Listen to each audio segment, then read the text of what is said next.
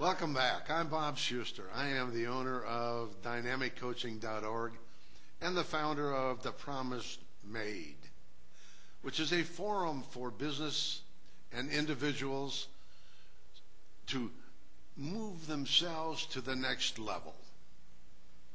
We are so excited about this forum because it is based on John 10:10. 10, 10. Jesus said, I came not just to give you life, but to give it to you in more abundance. Then why do so many people struggle? We will share that with you. So we're asking you to join us for a free seminar on May 18th from 6:30 to 8 at the Ephesians Vision Ministry Building at 711 Butler Market Road.